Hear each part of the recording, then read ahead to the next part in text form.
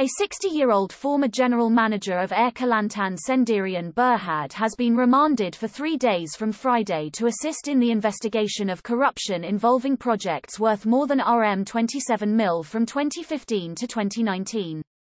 Also remanded were a 39-year-old AKSB officer and a 43-year-old project manager. The three men were arrested between 4.25 p.m. and 6.30 p.m. after having their statements recorded at the Kelantan MACC office here Thursday.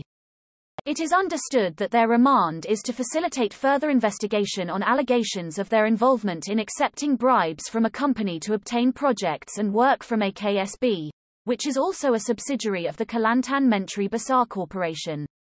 According to MACC sources, the arrests were made following tip-offs from the public, and further investigation would be conducted in accordance with Section 16 of the MACC Act 2009.